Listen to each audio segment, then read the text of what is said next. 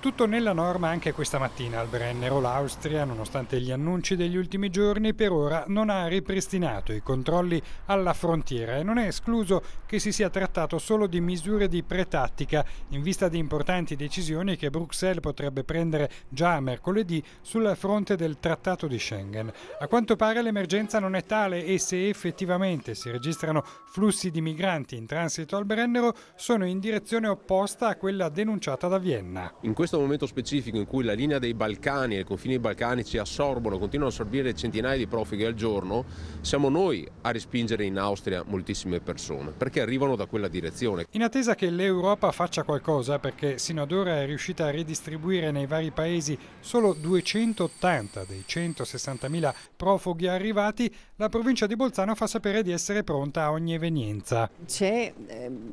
logicamente da vedere cosa è in grado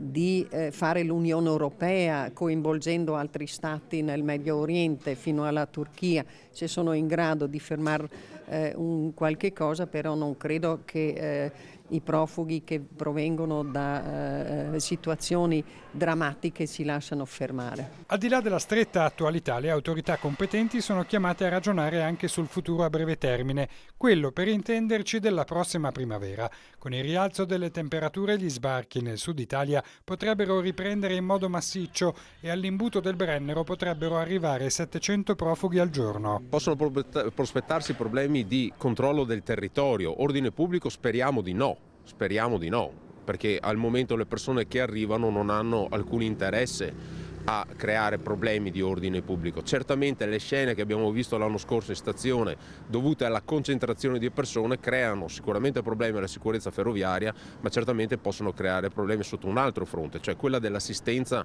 successiva, quella della stanzialità di queste persone, alle quali o troviamo qualcosa da fare o assisteremo sempre di più a scene di intolleranza che poi sfoceranno inevitabilmente come ritorsione in scene di razzismo.